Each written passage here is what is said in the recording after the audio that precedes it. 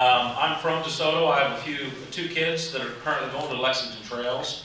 Um, I grew up in this town. I started kindergarten and graduated high school in 1983. And a few of my teachers are actually sitting in the crowd. I'm not going to point them out because I may be aging them at this time. Uh, we're going to try to get a, a video together also. It'll take just a second. But I want to thank the Lexington Trails administration and staff for allowing me to come up and speak and for also having this assembly. This is a great thing to happen every year, and then the students to be able to get up and, and show uh, their talents and to showcase veterans, I think is an outstanding uh, tribute to everything. And uh, I'll wait for the video to kind of get up, and then we'll I'll talk for a few minutes, and then we'll get everything going. I wanted to speak for a few minutes, though, in regard to my background. Like I said, I graduated high school here in 1983. I was very active in sports, played football, basketball, wrestling, track, um, even was very active in band and choir, and performed a number of musicals on this exact stage that I'm standing on right now. So it's, uh, it's very nice for me to be able to come back and, and to pay something back to the students.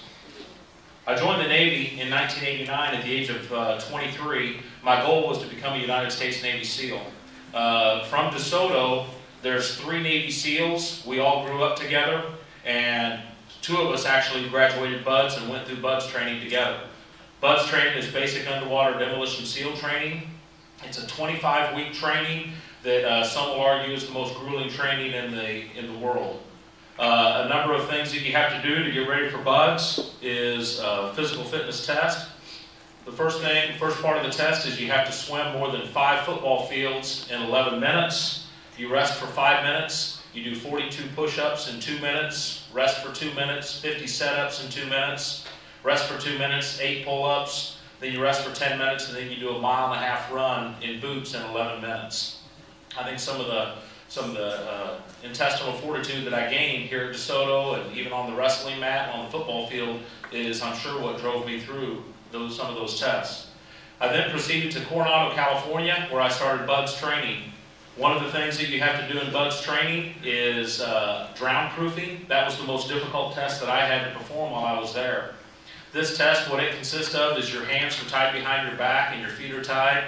You jump into the pool and you sink to the bottom for five minutes. Then you have to float without touching the side or the bottom for five minutes. Then they call it traveling. You have to swim down to the shallow end, back to the deep end of your starting position. It's a little over 100 yards. Then you do the bottom drops again to catch your breath. Then it's a front flip underwater, a back flip underwater. Then you pick up a dive mask or a pair of goggles with your teeth. And so that was kind of a tough one for me. I'm kind of a bigger guy, but uh, I was able to push my way through and then uh, proceed on through BUDS. One of the biggest things that we do in BUDS training is Hell Week. Hell Week is week, week six. Uh, it consists of starting on Sunday afternoon you end on Friday afternoon and you get two hours of sleep the entire week. Um, during Hell Week, you do a number of things, push-ups, you carry boats on your head, you uh, do physical training with logs that weigh more than 200 pounds, and all of this is whenever we were uh, out in California, and contrary to popular belief, the water is not that warm. Uh, when I went through Hell Week, it was 58 degrees. So, um, I can talk a few more things of BUDS training, but what I'm going to do here is, is we're going to start a video, then I'll speak for a few more minutes.